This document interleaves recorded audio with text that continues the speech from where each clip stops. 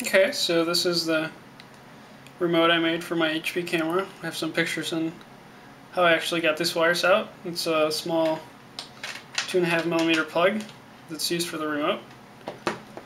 Plug it in just like this. Also, here is the trigger circuit. Have an opto isolator. Um, just two switches, two LEDs, and two resistors to control the current, and my little 5 volt power supply here that I can just plug in like that. See the power supply is working there. Now, first I gotta turn on the camera. Still haven't automated that. And I'll just point it this way. Now, the way this works, there's um, the button on the camera, you hold it down a little bit and it focuses. And then when you really push it, it takes a picture.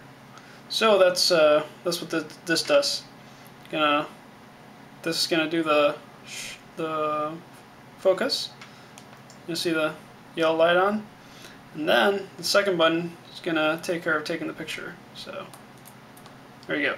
It worked. Uh, so hopefully I'll be able to connect this to a microcontroller and do my time lapses with this camera uh, that does not have the time lapse feature. So yeah.